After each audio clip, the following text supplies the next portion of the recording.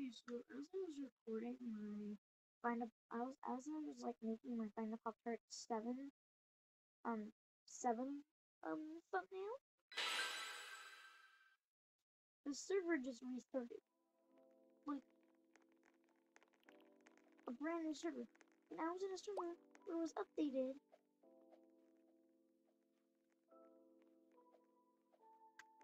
And I'm the same amount of Pop every single time I make a thumbnail it'd be like But yeah. Why did they update the server? Like I'm confused.